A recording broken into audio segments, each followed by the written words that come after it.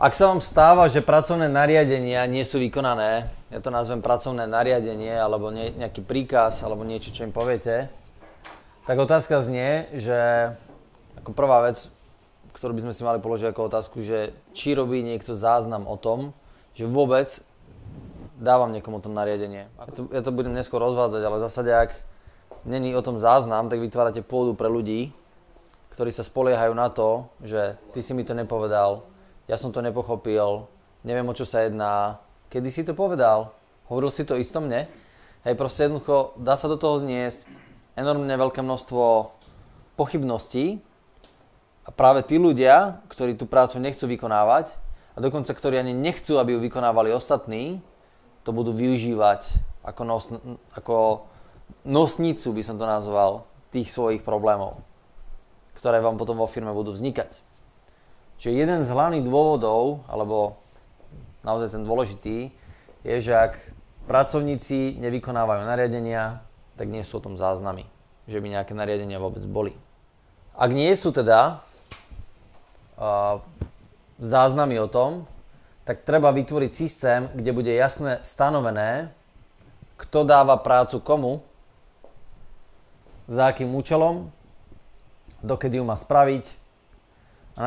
Zase druhá strana musí potvrdiť prevzatie tohto pracovného nariadenia a následne musí potvrdiť splnenie. Dobre, potom samozrejme tie záznamy treba archivovať. Keď budete mať tie záznamy, treba ich archivovať, lebo zase ľudia, niektorí sa budú spoliehať na to, že žiadne záznamy archivované neboli. A zase sa môžem vyhovárať na to, že síce to bolo splnené, ale nikto o tom nemá záznam a nikde to nie je potvrdené, nikde to nie je archivované.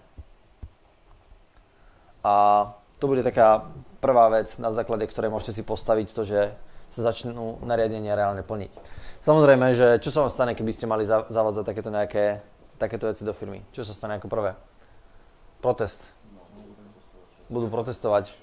Vzbúra, vidly, hej, fakle zapalené. Ale realita, ak sa chcete zbaviť toho, že vám ľudia neplnia príkazy, čo je podľa mňa väčší problém, tak treba naozaj spraviť to, že tie príkazy začnú byť písomné, mailovou formou, akákoľvek forma, kde si zabezpečíte, že ten človek ju dostal, obdržil, obdržal a je potvrdené, že ju má. My to máme vo firme zaužívané tak, že si píšeme WhatsApp. Cez WhatsApp si píšeme.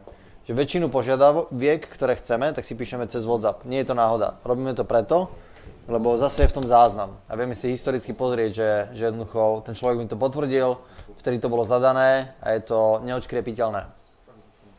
A dokonca to používajú aj na mňa ľudia. Hej? Čo je dobré, lebo, lebo zase záznam o tom, kedy oni mali na mňa požiadavku a ani ja ako šéf sa neviem vykrútiť. Čiže ono to má zmysel používať to na obidve strany. Lebo je to kontrolný mechanizmus a na základe toho tí ľudia proste majú istotu, že keď ja zadám niečo im, mám spätnú väzbu a keď oni zadajú niečo mne, lebo tá práca chodí aj opačným smerom niekedy, nejaké požiadavky a tak ďalej, majú zase k tomu spätnú väzbu.